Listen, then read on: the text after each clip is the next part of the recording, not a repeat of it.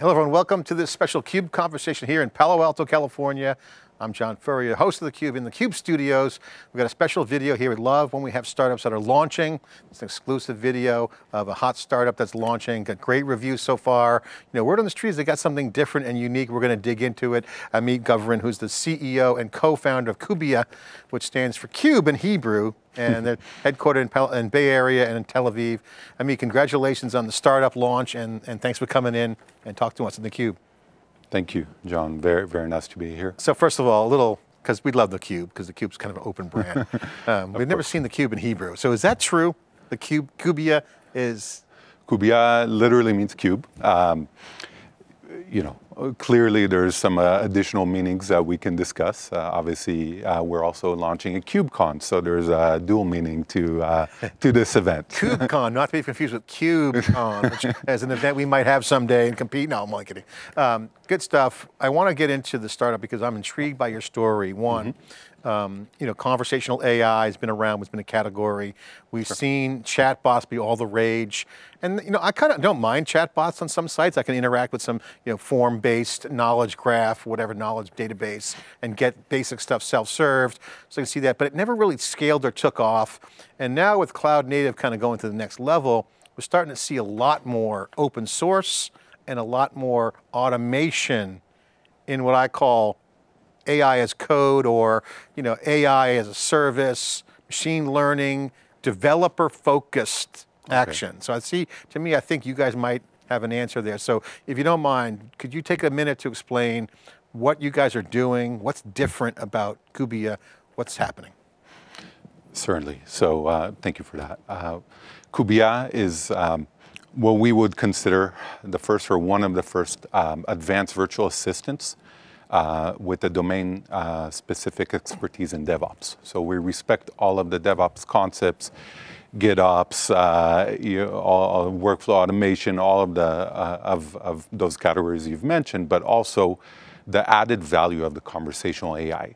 That's really uh, one of the, the few elements that we can really bring to the table to extract what we call uh, intent-based operations and we can get into what that means in a little bit.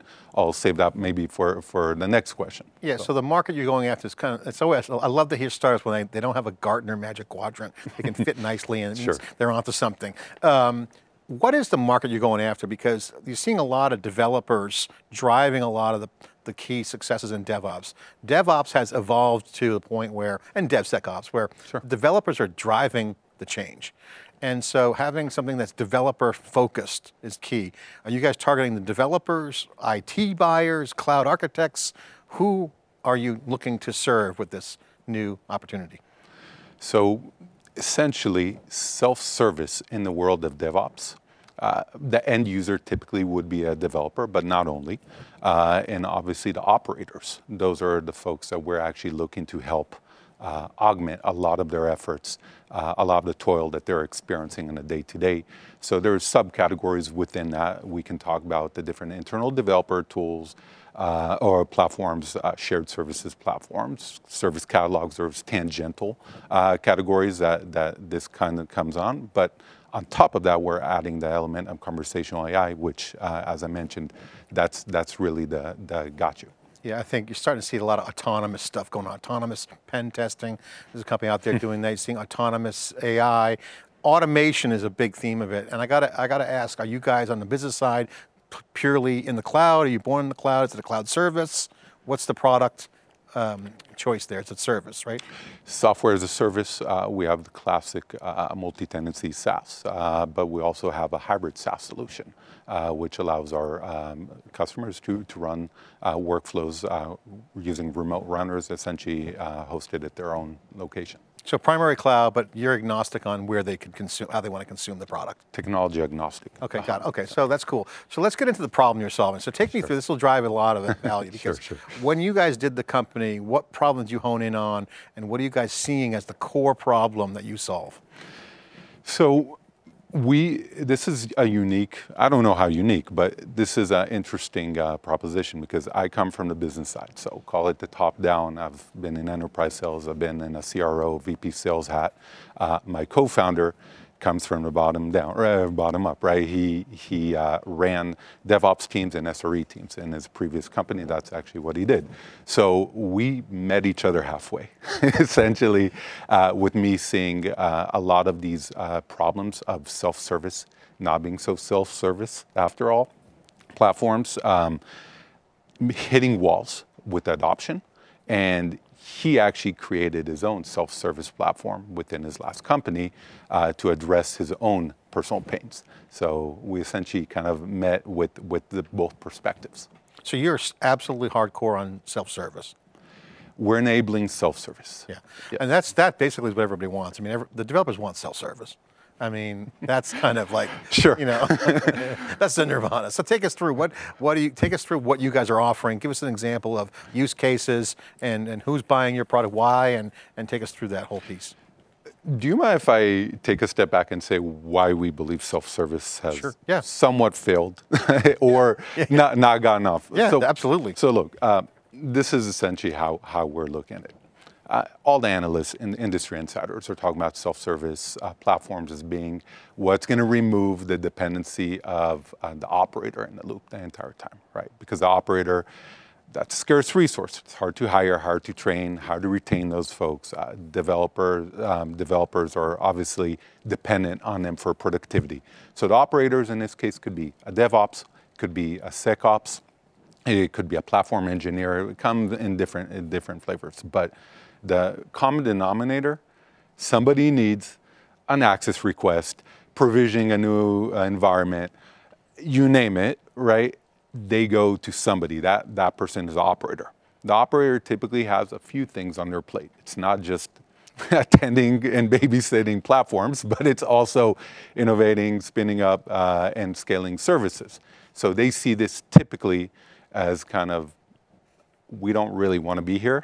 we're going to go and, and do this because we're on call. We, we have to take it on the chin, if you may, for this. Uh, for it's this their job. They got to do it. Right. Uh, but it's KTLOs, right? Keep the lights on. This is uh, maintenance of a platform. It's not. Yeah. It's not what they're born and bred to do, which is innovate and and that's essentially what we're seeing. We're seeing that a lot of these platforms, once they finally hit the point of maturity, they're rolled out to the team people come to serve themselves in the platform, and lo and behold, it's not as self-service as yeah. it may seem. Yeah, and that we've seen that certainly with Kubernetes adoption being, I won't say slow, it's been fast, but it's been good. But I think this is kind of the promise of what SRE was supposed to be. You know, do it once and then babysit in the sense of it's working and automated, nothing's broken yet, don't call me unless you need something. I see that. So the mm -hmm. question is, you're, you're trying to make it easier then. You're trying to free up the talent. Talent to operate and have essentially a human-like in the loop, uh, essentially augment that person and give him, uh, give the end users the need, um, all of the answers they require as if they're talking to a person. yeah, I mean, it's basically you're taking the virtual assistant concept or chatbot to a level of Precise. expertise where there's intelligence, jargon, experience mm -hmm. into the workflows that's known, not just talking to a chatbot, get a support number to rebook a hotel room. We're converting operational workflows into conversations. Give me an example. Show, take me through an example. Sure. Um, let's let's take a simple example. I mean, not everyone provisions EC2s with today's environment, uh, but let's say you you want to go and provision a new EC2 instance. Okay. Um, if you wanted to do it, you could go and talk to um, the assistant and say, I want to spin up a new server. If it was a human in loop, they would ask you the following questions. What type of environment? okay, what are we attributing this yeah. to? What type of instance? Okay, um, security groups, machine images, you name it. So these are the questions that typically somebody needs to be armed with before they can go and provision themselves, serve themselves, okay? Now the problem is users don't always have these questions. Mm -hmm. So imagine the following scenario. Somebody comes in, they're in a JIRA ticket queue. they finally, their turn is up, and the next question they don't have the answer to. So now they have to go and tap on a friend, or they have to go essentially and, and get that answer. By the time they get back, they lost their turn in queue. And then that happens again. So they lose the context, they lose essentially the momentum, and a simple access request or a simple provisioning request can easily, easily become a couple days of ping pong back and forth. Okay, this won't happen with the with the virtual assistant. You know, I think, you know, and, and you mentioned chatbots, but also RPA is out there. You've seen a lot of that Sure. growth. One of the hard things, and you brought this up, I want to get your reaction to, is, is contextualizing um, the workflow. It might not be apparent, but the answer might be there, but it, it disrupts the entire experience at that point. RPA and chatbots don't have that contextualization. Is that what you guys do differently? Is that the unique flavor here? Is that Yes, the difference it- between current chatbots and RPA? What's the, The, the way we see it, I- I'm, I alluded to the intent-based operations. Let me give a tangible experience, even not from our own world. This this will be easy. It's a bidirectional feedback loop because that's actually what feeds the context and the intent. Okay, um, we all know Waze, right? In the world of navigations, they didn't bring navigation systems uh, to the world. What they did is they took the concept of navigation systems that are typically satellite guided and said it's not just enough to drive down the 280, which typically has no traffic, right? and to uh, come across traffic and say, oh, why didn't my uh, satellite uh, pick that up? So they said, have the end users, the end nodes, feed that direction back, that, that feedback, right? There has to be a bidirectional feedback loop that the end nodes help educate the system, make the system be- better, more customized. And that's essentially what we're allowing the end users. Uh, so the maintenance of the system isn't entirely in the hands of the operators, right? Because that's the part that they dread. The, the, and uh, the maintenance of the system is, is democratized across all the users, that they can teach the system, give input to the system, hone in the system in order to make it more of the DNA of the organization. You and I were talking before we came on this camera interview. You said playfully that Siri for DevOps, which kind of implies, hey, infrastructure, do something for me. Like, um, you know, we all know Siri, you know, so we get that. So that kind of illustrates kind of the, the, where the direction is. is the, explain why you say that. What does that mean? Is that like a North Star vision that you guys are approaching? You want to have a state where everything's automated and there's conversational deployments, uh, that kind of thing. And take us through why that Siri for DevOps is. I, I think it helps anchor people to what a virtual assistant is because when you hear virtual assistant, that can mean any one of, of various connotations. So the Siri is actually a conversational, uh, right, assistant, but it's not, but it's not necessarily an, uh, a virtual assistant. So what we're saying is we're taking, anchoring people to that uh, thought and saying we're actually allowing it to be operational, uh, conver- uh, turning complex operations into simple conversations. Yeah, I mean, basically they take the automate with voice, a Google search or a query, what's the mm-hmm. score of the game? And, and, and it also, in talking to the guy who invented Siri, actually interviewed him on theCUBE, mm-hmm. it Yeah. gets, it's a learning system. It actually learns. As it gets more Certainly. usage, it learns. How do you guys see that evolving in DevOps? There's a lot of jargon in DevOps, a lot of configurations, a lot of different use cases, a lot of new technologies. What's the secret sauce behind what you guys do? Is it the conversational AI? Is it the machine learning? Is it the data? Is it the model? Take us through the secret sauce. In fact, it's all of the above. And I don't think we're bringing any one element to the table that hasn't been explored before, hasn't been done. It's, it's a recipe, right? You give uh, two people the same ingredients, they can have complete different results in terms of what they come out with. We, because of our domain expertise in DevOps, because of our familiarity with developer workflows, with operators, we know how to give a very well suited recipe, right? Uh, five course meal, hopefully with Michelin stars as part of that. So, uh, a few things, maybe a few of the secret sauce elements conversational AI, the ability to essentially go and, and extract the intent of the user so that if we're missing context, we, the system is smart enough to go and to get that feedback and to essentially feed itself into that model. Okay, Someone might say, hey, you know, conversational AI, that was yesterday's trend. It never happened. Sure, It was kind of weak. Chatbots were lame. What's different now and with you guys and the market that makes a, re- a redo or a second shot at this, a second bite at the apple, as they say? As they say. What do you guys see? Because you know, I would argue that it's you know it's still early, real early. certainly. How do you guys view that? How would you handle that objection? That, it, it's it's a fair question. I wasn't around the first time around to tell you what didn't work. Uh, yeah, I'm not afraid uh, to to share that the feedback that we're getting is phenomenal. People understand that we're actually uh, customizing the workflows, the intent uh, based operations to really help hone in on the dark spots, like on the, um, uh, the way we call it, uh, last mile, uh, you know, bottlenecks. And that's really where we're helping. We're helping, um, in a way, tribalize internal knowledge that typically hasn't been documented because it's painful enough to where people care about it, but not uh, painful enough to where you're going to go and sit down an entire day and document it.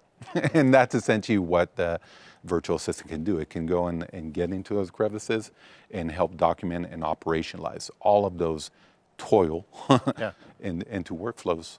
Yeah, I mean, some will call it grunt work or low-level work, and I think the automation is interesting. I think we're seeing this in a lot of these high-scale situations mm-hmm. where the the talented, hard-to-hire person Oh. is hired to do, say, things that be, were hard to do, but now harder things are coming around the corner. So, you know, serverless is great and all this is good, but it doesn't mm-hmm. make it the complexity go away.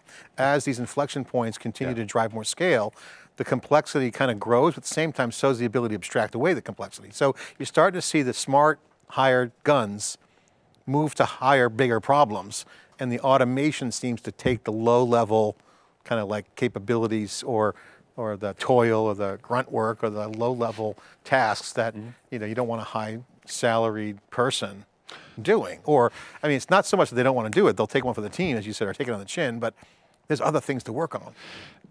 I, I want to add one more thing because this goes into essentially what you just said. Think about it's not the virtual assistant. What it gives you is not just the intent, uh, and and that's one element of it is the ability to carry your operations with you to the place where you're not breaking your workflows. You're actually comfortable operating. So the virtual assistant lives inside of a command line interface. It lives inside of chat like Slack and and Teams and Mattermost and so forth. It also lives within a low-code editor. So we're not forcing anyone to to use uncomfortable language or, uh, or operations that they're not comfortable with. It's almost like Siri.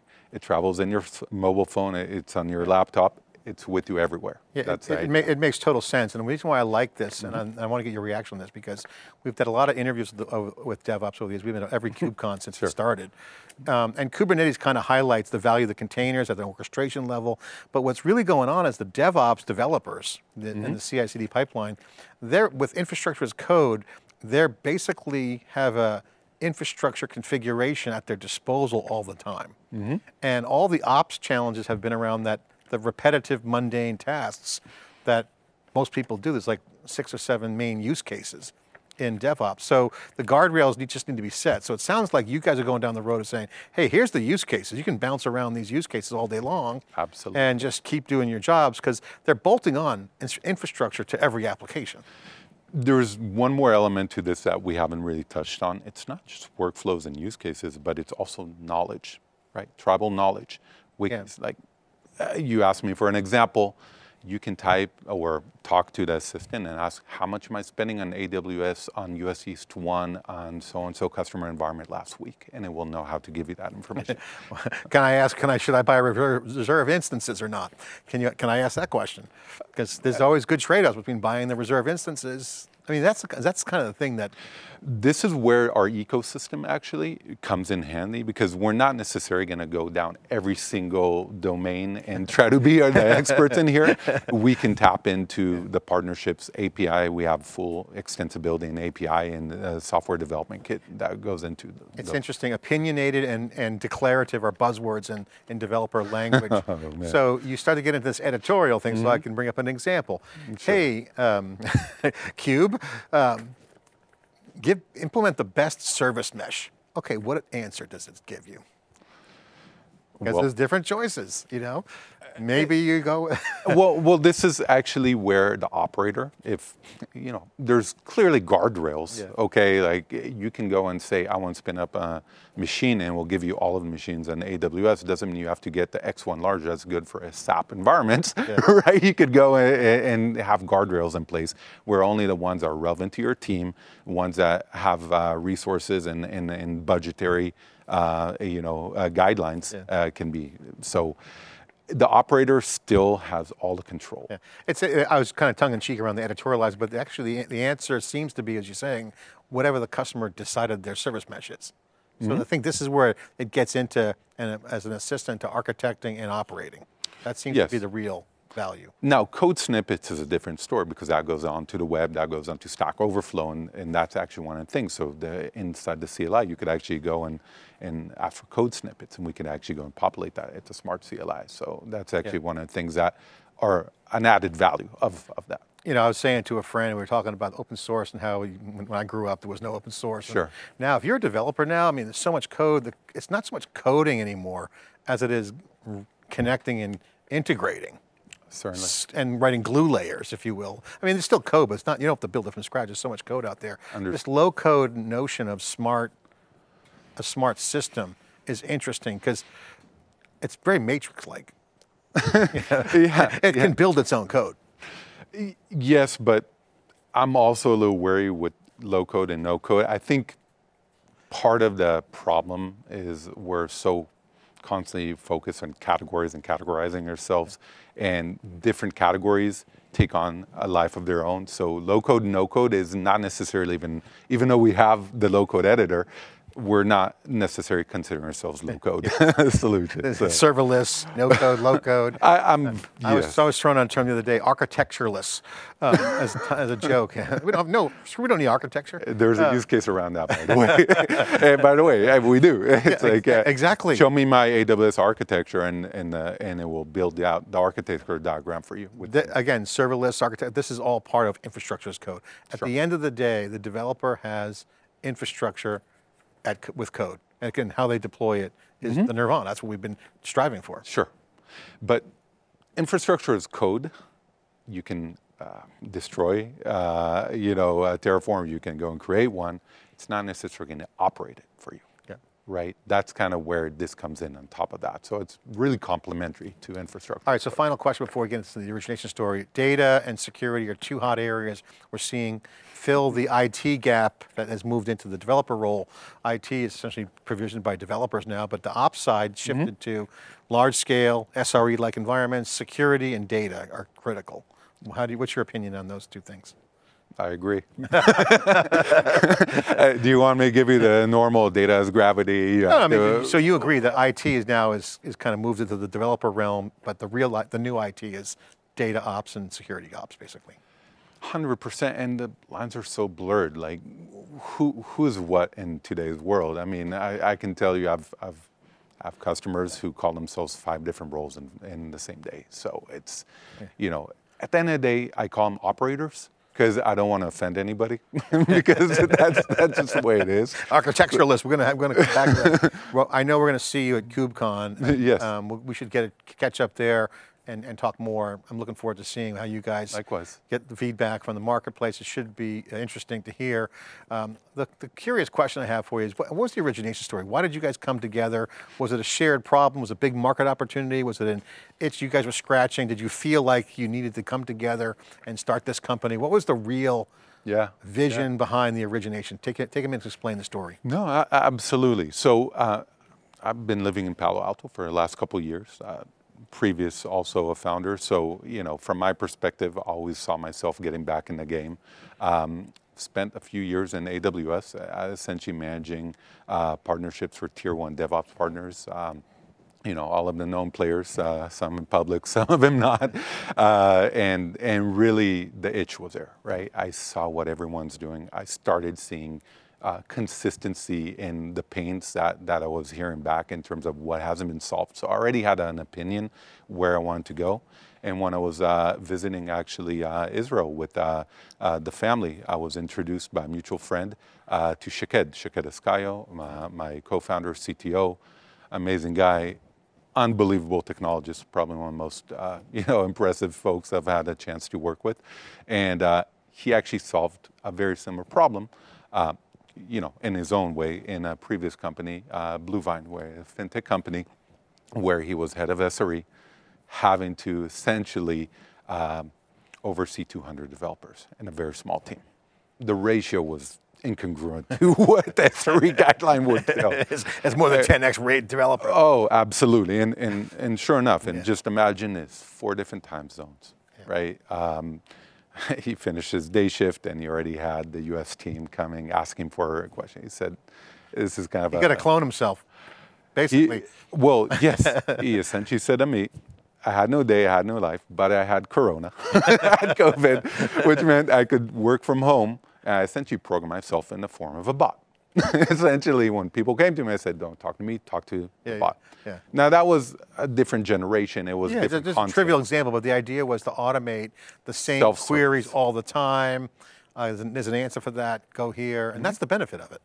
Yes, so he was able to see how easy it was to solve, I mean, how effective it was solving 70% of the toil in his organization, scaling his team, uh, frozen headcount, and the uh, developer team kept on going. So that meant that he was doing some right. Yeah, when you have a problem, you need to solve it. The the, uh, the creativity comes out of the woodwork. You know, you know, hundred invention is the mother of necessity. So, final question for you: What's next? Got the launch. What do you guys hope to do over the next six months to a year? Hiring, put a plug in for the company. Uh, Oh, what are you yeah. guys looking to do? Um, take a minute to to uh, share the future vision and and get a plug in. Hundred percent. So Kubiya, as as you can imagine, um, announcing ourselves uh, at KubeCon, so in uh, a couple weeks, um, opening the gates uh, towards uh, the public uh, beta and NGA in the next couple uh, months. Essentially, working with dozens of customers, uh, Aston Martin, Zen Business, uh, Earnin. We have quite a few. Uh, our website's full of quotes. you can go ahead, uh, but but effectively, uh, we're looking to go on to to bring the next operator generation of operators who value their time, who value. Um, the essentially the value of tribal knowledge that travels between organizations that could be essentially shared. How many customers you guys have in your pre- pre-launch Uh. It's above above a dozen, uh, without saying because we're actually uh, uh, looking to onboard ten more next week. So that's just an, uh, an understanding. It changes from day to day. what's what's the what's the number one thing people are saying about you? you got that right. Okay, I know it's.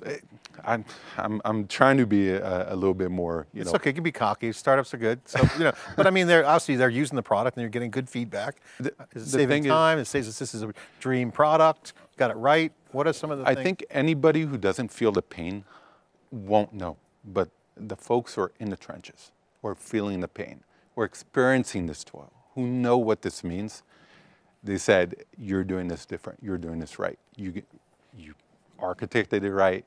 You know exactly what the developer workflows." You know where all uh, where all the areas, you know where all the skeletons are hidden within that, and and and you're you're attending to that. So so we're happy about that. Yeah, everybody wants to clone themselves. Again, the tribal knowledge. I think this is a great Mm-hmm. example of where we see the world going. Make things autonomous, operationally automated. For the use cases you know are lock solid, why wouldn't you just deploy? Exactly, and we have a very generous free tier. People can, you know, Yeah. there's a plugin. You can uh, sign up for free uh, till the end of the year. We have a generous free tier. Um, yeah, free forever tier as well. So uh, we're, we're looking for, for people to try us out and, and to give us feedback. I think the self-service. I think the point is we've we've talked about on the cube at our events. Mm-hmm. Everyone says the same thing. Every developer wants self-service. Period. Full stop. Done. What they don't say is they need somebody to help them babysit to make sure they're doing it right. The old the old dashboard. green, yellow, red. Well, you know. Eh, you know, I know it's an analogy that's not related, but have you been to Whole Food? Have you gone through their self-service line? That's the beauty of it, right? Having someone in a loop helping you out throughout the time. You don't get confused. If, if something's not working, someone's helping you out. That's what people want. They want a human in the loop or a human like in the loop. Yeah, yeah. We're giving that next best thing. Yeah, it's really the ratio. It's scale. It's a it's a it's a scaling. It's a multi, multi, multi, force multiplier for sure. I mean, thanks for coming on. Congratulations. Thank you so um, much. See you at KubeCon. Thanks for coming in, sharing the story at the. Kubiakon. KubeCon.